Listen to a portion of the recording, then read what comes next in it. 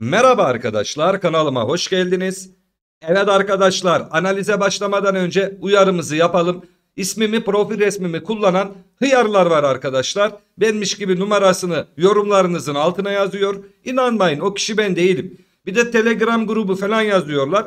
Dikkatli olun arkadaşlar. Ben telegram kullanmıyorum. Tamam mı? Telegram'da binlerce takipçisi olan kripto ramçolar var. Para ödüyorlarmış onlara. Asla inanmayın arkadaşlar. Biri size diyorsa ben Ramço'yum IBAN gönderin gibisinden biz asla IBAN sormuyoruz. Bilginiz olsun. Şimdi analizimize başlayalım. Son durum ne değinelim. Dün Gauss'in Channel'a değindik haftalık grafikte biliyorsunuz. Hani düşüş devam ederse önemli desteği vermiştim size biliyorsunuz. Bakın kanalın alt çizgisi. Neydi orası?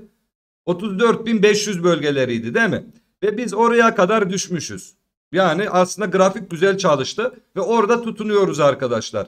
Şimdi önemli bir destek, çok önemli bir destek. Hemen geçmişe gidiyoruz. Niye? Geçmiş dost, bizim dostumuz, bizim dostumuz bazılarının değil. Onlar diyor ki geçmiş geçmiştir diyor. Şu anki Bitcoin farklıdır diyor. Düşmez diyor. Düştükçe hala aynı şeyi söylüyorlar. İlginç. Neyse devam edelim. Bakın arkadaşlar. Şöyle geçmişe gidiyoruz arkadaşlar. Boğa piyasası güzel lay lay lom. Ondan sonra kademeli düşüşler geliyor. Alt çizgiye düşüyor burada gördünüz mü arkadaşlar?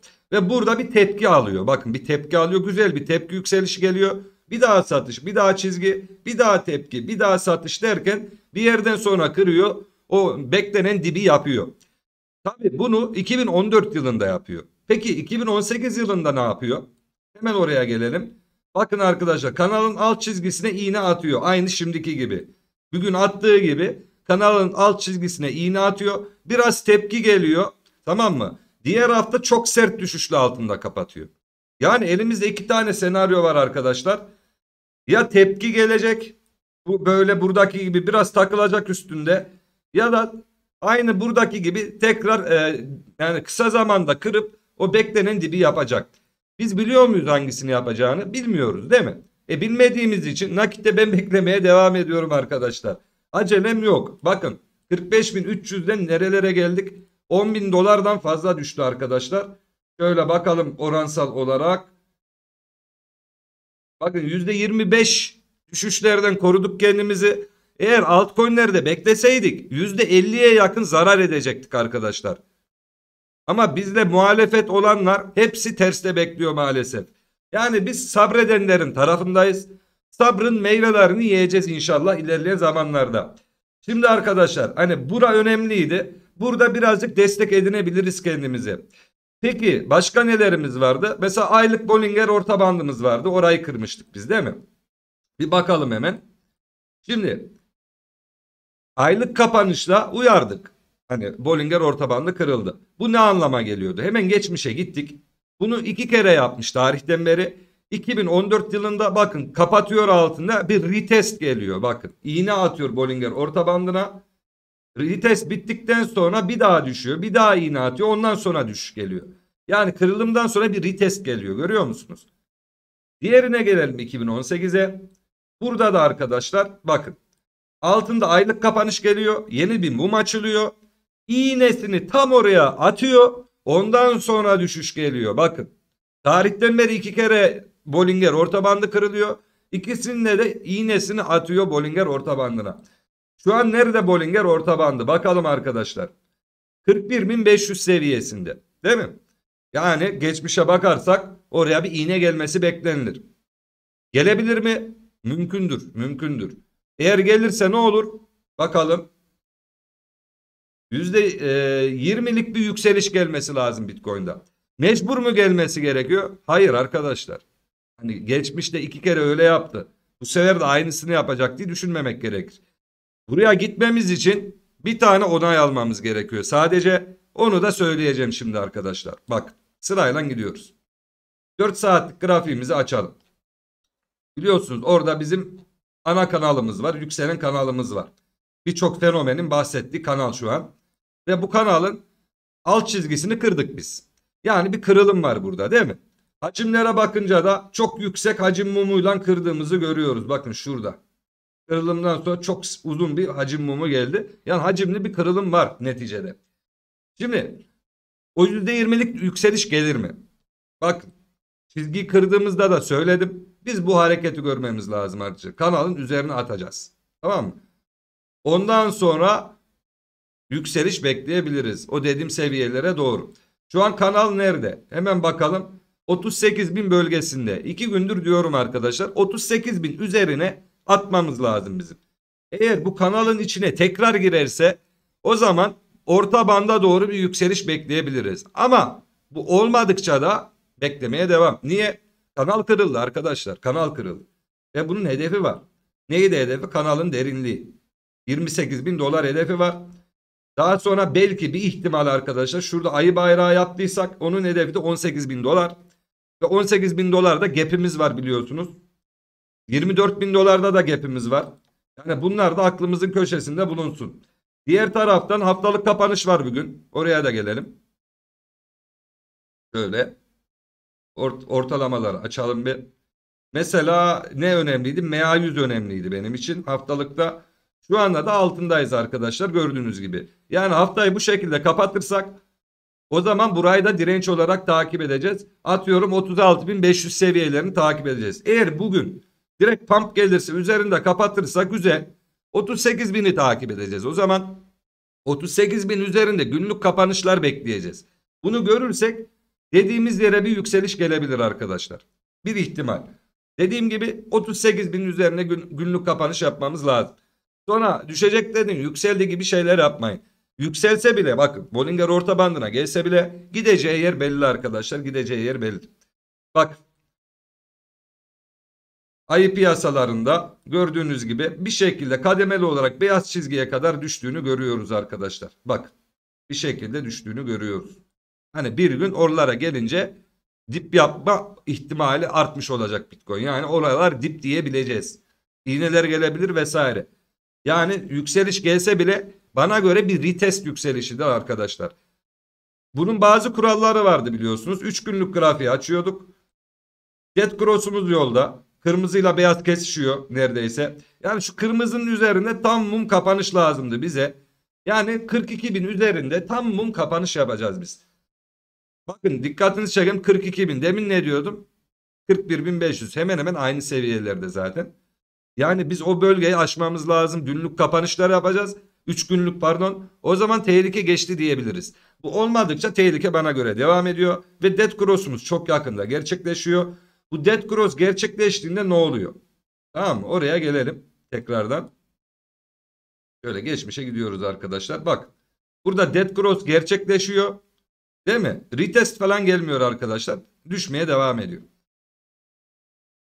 Bu arada Dead Cross'tan sonra bayağı bir sert satışlar geliyor. Bilmeyenler için mi göstereyim. Bakın şurada Dead Cross'ken Bitcoin burada değil mi? Oradan bakalım %50'ye yakın düşüş geliyor. Şuraya gidelim hemen 2018 yılına. Burada da Dead Cross oluyor arkadaşlar. Gördüğünüz gibi Dead Cross'ta Dead Cross'tan önce bir retest hareketi görüyoruz. Bakın ama MA200'ün de üstündeyiz. Bu Eflatun renkli ortalamanın üstündeymişiz o zaman. Ve şu anda da biz altındayız aslında. Bakın şu anda biz şöyle göstereyim. Altındayız. Gördünüz mü? Retestlerimiz de tamamlandı. Burada farklı bir durum var. Hani mecbur değil retest yapmasına. Neyse 2018'de Dead Cross'tan sonra ne kadar düşüyor? Ona bakalım. Dead Cross burada oluyor. Bitcoin nerede? Şu seviyede 5600'de %45'lik bir düşüş geliyor arkadaşlar. Dead Cross'tan sonra. Bakın sonra. Öncesini demiyorum. Öncesine bakarsak çok daha sert düşüyor. Zaten düşmeye başlamıştı. Dead Cross'tan sonraki hareketten bahsediyorum. O da %45. Yani atıyorum. Daha önce %50 yapmış. Daha sonra %45 belki bu sefer %40 yapacak. Dead Cross geldiğinde Bitcoin atıyorum. 38 binde diyelim. Bakın arkadaşlar %40 yaparsak var ya 21 bin dolarlara falan geliyor yani. Büyük bir tehlike var ve çok az kaldı. 10 gün iç belki 10 gün bile kalmadı. Bir hafta sonra Dead Cross oluşabilir. Yani o yüzden şu Dead Cross bir oluşsun bakalım neler olacak. Benim acelem yok. Beklemeye devam. Ben bekledikçe alttan alma fırsatına sahip oldum. Şimdi buradan %15 yükselse bile %20 yükselse bile ben hala alttan alabiliyorum. Çünkü o zaman daha 42 bin bölgesine geliyor. Ben 45 bin 300'den nakite geçtim. Yani benim için hava hoş öyle söyleyeyim. Ve ben hiçbir zaman en dipten yakalayayım en tepeden satayım diye düşünmem biliyorsunuz. Hani güvenli bir yerden girerim. Uygun bir yerden çıkarım. Öyle düşünün yani öyle düşünün. Yani e, 38 bini takip edeceğiz. Üzerinde günlük kapanış gelirse aylık Bollinger orta bandını hedefleyeceğiz. Tamam? Bu olmadıkça da tehlike bana göre devam ediyor arkadaşlar. Peki EMA ribbon'ı açsak orada durumlar ne mesela? Şöyle haftalık grafiğe bakalım. Bakın ribbonlar kırıldığında söyledim ben size değil mi? Ta haftalar önce söyledim tehlikeli diye. Ve ondan beridir düşüyoruz. Ve şu an ribbonların sarı ortalamasına dikkat edin arkadaşlar tamam mı? Sarı ortalaması bütün ortalamalarını aşağı kesti. Bak şu bölge bence önemli. Hani bu bence teyit gibi bir şey arkadaşlar. Sarı hepsini aşağı kesiyor. Gördünüz mü? Bu ne zamandan beri olmuyor biliyor musun? Ne zaman yukarı kesmişti? Mayıs 2020 yılında yukarı kesmişti. İlk defa aşağı kesiyor arkadaşlar. İlk defa. Yani geçmiş aylardaki düşüşlerde bile kesmedi. Daha yeni yeni aşağı kesti. Peki bu ne anlama geliyor? Hemen geçmişe gidiyoruz. Geçmişten tüyolar alıyoruz. Bakın arkadaşlar. Burada sarı bütün ortalamaları kesmiş. Retest gelmiş ama bakın retest gelmiş. Yalan yok gelmiş. Ondan sonra kademeli olarak düşmüş. Yani en iyi şartlarda bir retest bekleyebiliriz bu saatten sonra oraya. Ondan sonra kaldığı yerden devam. 2018'e gidelim. Bakın 2018'de şu noktada sarı bütün ortalamaları kesiyor. Ama retest falan gelmiyor. Görüyor musunuz arkadaşlar? Retest falan gelmiyor. Ve düşüş devam ediyor. Şimdi her e, döngüde aynı şey mi yapmak zorunda? Hayır. Farklı şeyler yapabilir. Retest bazında söylüyorum. Mesela 2014'te retestini yapmış ama 2018'de yapmamış. Şimdi yapabilir mi? Bakalım. Yapabilir. E, o zaman nerede oluyor o seviye? 42 bin seviyelerinde oluyor. Bakın 3 günlükteki çizgimizden örtüşüyor değil mi? Yani her halükarda biz gene de 42 bin üzerinde 3 günlük kapanışlar beklemek zorundayız. Aynı kapıya çıkıyor. Dediğim gibi önce 38 bini kıracağız arkadaşlar. Önce 38 bini kıracağız. Dileyen buradan alır. Benim için yeterlidir der alır. Karar sizindir. Dileyen bekler sabırlı olur. Biraz yukarıdan alırım sıkıntı yok diyenler olursa iyi yani anladınız mı? Kararı kendiniz verin. Ben ne yapıyorum? Ben bekleyeceğim. Niye? 4 yılda bir oluşan şeyler var arkadaşlar. Bakın. Bu 3 günlük dead cross 4 senede bir oluşuyor tamam mı? Böyle 4 senede bir. Bu arada aylık grafiğe de değinmek istiyorum. Bakın aylıkta da zaten alçalan dip yaptık ilk defa. 2020 yılının Mart ayından beri ilk defa alçalan dip yaptık. Daha yeni yapmışken sizce buralar dip olup boğa başlar mı? Zor gibi. Zor gibi. De EMA ribbonların en üst ribbon'ın altında aylık kapanış geldi ilk defa. Gördünüz mü? 2020 Mart'tan beridir ilk defa kapanış geldi. Böyle durumlarda ne oluyor? Hemen oraya gelelim. Bakın hiçbir detay atlamıyorum sizin için. Video kısa e, olsun demeyin arkadaşlar. Ben bunları anlatamam yoksa. Zaten saçmaladık. Videoyu tam bitireceğim. Eksik kalan şeyler vardı. Tekrar devam ettim. Bir 10 dakika daha uzadı mesela. Yani gerçekten bilgi istiyorsan izlemek zorundasın. Bakın anlattığım şeyler basit şeyler değil. Bak ben bunu anlatmasaydım iyi olmayacaktı. Şimdi anlatıyorum ki bilgi sahibi olun. Bakın 2014'te de en üst ribbon'ın altında kapatmışız gördünüz mü? Kademeli olarak en alt ribbon'a düşüyoruz. 2018'e gidelim bakın. En alt ribbon'lara düşüyoruz öyle değil mi? E şimdi en alt ribbon'a düşebilir miyiz? Evet düşebiliriz. Teknik olarak gayet mantıklı değil mi? En alt ribbon nerede? 25 bin dolar seviyesinde. Yani böyle de tehlikeler cepte duruyor maalesef. Devam edelim. Şimdi arkadaşlar 3 günlük dead cross diyoruz. 4 seneye bir oluyor. 4 diyorum 4. Tesadüf mü bu 4 sayısı? Değil. Çünkü 4 yıllık döngülerle gidiyoruz. Bitcoin üretim maliyeti 4 yıla bir 2 katına artıyor.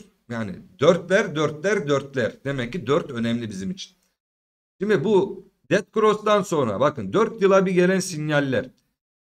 2014 yılında Dead Cross yarı yarıya düşüş. 2018 yılında Dead Cross yarı yarıya düşüş. 4 sene sonra. E bir daha 4 sene geçmiş bir daha Dead Cross. Yani Ve düşüyoruz da şaka maka düşüyoruz arkadaşlar. Nereden nereye geldik değil mi? Nereden nereye geldik? Bu birincisi 4 yıla bir olan. Diğerine gelelim arkadaşlar. Diğeri de aylık Bollinger orta bandı. Bakın 2014 yılında kırılıyor o düşüş geliyor. 2018 yılında kırılıyor o düşüş geliyor. Ve şimdi 4 yıl sonra bir daha kırılıyor. Yani bu da ikincisi 4 yıla bir gelenlerin. Diğerine geleyim arkadaşlar. MACD. Bakın bu da 4 yıla bir sat sinyali veriyor. MACD. 2014'te sat veriyor. 2018'de sat veriyor. Ve 2022'de sat veriyor. Aylar önce zaten sat verdiğini söyledik arkadaşlar. Buna rağmen boğa bekleyenler oldu. Buna rağmen sepet yapanlar oldu. Yani bunları görüp de niye sepet yaparlar ki tepelerde ben onu anlamıyorum. Neyse başka neyimiz var 4 yıla bir. Bakın Vortex. Bu Vortex'i kimse konuşmuyordu arkadaş. Belki hala konuşmuyordur bilmiyorum. İlk değinen biziz aylık Vortex'e. Ve ben iki aydır uyarıyorum. Değil mi burayı? Kırmızı mavi kestiğinde %50'lik düşüş geliyor arkadaşlar. Dead cross oluyor bir de aynı zamanda. Bu sinyali alıyoruz. Daha sonra bakın bu 2014 2018'de de kırmızı mavi yukarı kesiyor. Bakın tam kesişime e, doğru o düşüş geliyor zaten. E şimdi bir daha 4 sene sonra bir daha. Gördünüz mü? Ve gene de düşüyoruz bakın. Yani ben bu fırsatı niye değerlendirmeyeyim arkadaş? Hani 4 yılda bir olan bir şey neticede. Ben niye acele edeyim kalmak için? E beklerim. Acelem yok. Ben yarın para kazanayım derdinde değilim ki. Ben yatırımcı bir insanım. Ama sen acele ediyorsun. Bana para lazım. Haftaya para lazım. Öyle yaparsan zaten zarar edersin. Hani acele etmeyeceksin bu işlerde. Zaten e, lazım olmayan bir parayla girin diye boşuna demiyoruz. Çünkü sana para lazım olsa acele edeceksin. Ama para lazım değilken çok rahat hareket edeceksin. Neyse diğer taraf yani Bitcoin'de bunları takip edeceğiz. Daha detayına inerim de inerim. Saatler sürer. Sıkıntı yok. Bizde malzeme tükenmez Bitcoin ile ilgili. Ama bana diyorlar ki hocam dolar endeksine de bir değinir misin? E değinelim sizi mi kıracağım ben? Bakın arkadaşlar en son dolar endeksi analizimizde kanalın üst çizgisinden bahsettiydim biliyorsunuz. Bakın bu kanal ben doğduğum gün olmuş tamam mı? Ben doğduğumda bu kanal oluşmaya başlamış 1987'de. Yani doğumum bugünlere ışık tutuyor. Düşünseniz arkadaşlar öyle büyük bir olaymış ki doğduğumda yani dünyanın seyrini değiştirmişim resmen. Neyse dünyanın zaten seyrini değiştiren bu dolar endeks. Farkındaysanız dolar endeksi uçuyor. Bitcoin ne yapıyor? Düşüyor. Altın bir türlü harekete geçemiyor. Niye? Dolar endeksi fırlıyor da fırlıyor. Ve biz bu kırmızı çizgiden bahsettik. Yukarı kırdığından da bahsettik size değil mi arkadaşlar? En son dolar endeksi değerlendirmemde biz bu çizgiyi kırdık tutunuyoruz. Hedefi de üst kanalın üst kanal e, çizgisi. Ve adım adım gidiyoruz arkadaşlar. Yani bir sapma yok. Belki daha hedefine ulaşılmadı. Ulaşılmadığını da düşünüyorum ama şöyle de bir detay var. Bakın. Burada yatay bir yeşil çizgi var. Grafik çalışmıyor ya. Diyenler gelsin. Bu çizgi öyle bir çalışıyor ki arkadaşlar şu yeşil çizgi. Bak. Şöyle geçmişe gidelim. Yıl 1981. 81'den gelen çizgi arkadaşlar düşünün yani. Çoğumuz belki yani benim yaş grubum dünyada yokmuş o zaman. Biz ben 87'liyim. Yani 81 yılında burada bir destek yapıyor. Gördünüz mü arkadaşlar? Bugünlere kadar çalışıyor grafik. Bak destek kırılıyor düşüş. Nerede kırıyor mesela? 1986'da e, kırıyor. 89'da retest yapıyor. Yani 3 sene sonra retest yapıyor. Oradan düşüş devam ediyor. Görüyor musunuz? Daha sonra e, dip yapıyor 1992 yılında. Ne zaman kırıyor? E, 2000 yılında kırıyor arkadaşlar. 2000 yılında kırıyor. Yani 8 sene sonra yukarı kırıyor ve tutunuyor. Yükseliyor, uçuyor. Tamam mı? Ama e, bu kanal yavaş yavaş inşa edilmeye başlıyor o noktada. Yavaş yavaş. Bakın şurada iki tane tepe yapıyor. Şöyle birleştir şuradaki dibi al bu kanal zaten oluşmaya başladı. Kanal oluştuktan sonra düşmeye başlıyor ve Ne hikmetse yeşil çizgiden destek alıyor arkadaşlar. Bakın nasıl güzel çalışıyor. Ta 80'li yıllarda oluşan çizgi 2002 yılında destek olarak çalışıyor. Gördünüz mü? Daha sonra ters fincan kulp yapıyor. Yeşili kırıyor. Derin bir düşüş yaşıyor. Bak ne zaman kırıyor? 2002 yılında. Aradan yıllar geçiyor. 2002'den 2017 bakın 15 sene sonra 15 sene sonra dolar endeksi yükseliyor arkadaşlar. 2017 yılında tam o noktadan ayı piyasasına giriyor. Ve bu ayı piyasasında Bitcoin ve altcoin'lerde tarihte görülmemiş bir yükseliş sezonu geliyor arkadaşlar. 2017 efsaneydi. 1000 kat, 10 bin kat, 50 bin kat artan altcoin'ler vardı arkadaşlar. İşte dolar endeksi o kadar sert düşüyordu ki bakın. Dayanamadı kriptolar. Uçmaya başladı. Neyse aradan yıllar geçti. 2017'den geldik 2022'ye tekrar bu çizgideyiz. Sizce ne olur? Ne olur? Buradan satış gelir mi? Gelebilir. Gelebilir. Üzerine atarsak şu çıkan alda takip edeceğiz. Ama orayı da geçerse sıkıntı olabilir arkadaşlar. Yani diyelim geçti. O zaman neyi takip edeceğiz biliyor musunuz? Şu yeşil çizgiyi takip edeceğiz. Tekrar altına sarkarsa o zaman dolar endeksine düşüş bekleriz. Olay bu. Ve dolar endeksi yükselmeye devam ettikçe de Bitcoin da düşmeye devam eder diye düşünüyorum. Mesela en büyük hareketi neydi bana göre dolar endeksinin?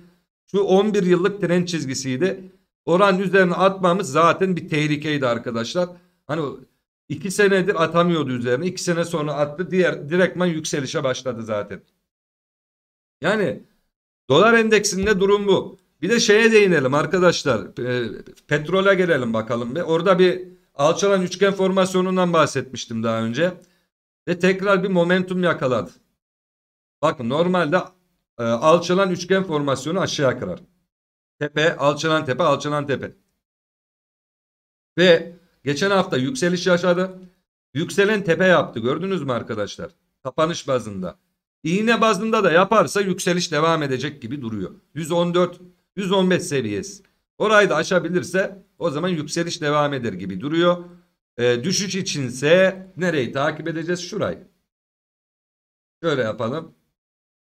102 seviyesi tamam mı? 102 kırılırsa aşağı günlük kapanışlar gelirse parti biter. %15 üzerinde günlük kapanışlar gelirse maalesef e, arabamıza mazot dolduramayacağız diye düşünebilirsiniz. Neyse arkadaşlar bir günlük anlatacaklarım bu kadar. Kendinize çok iyi bakın. Görüşmek üzere.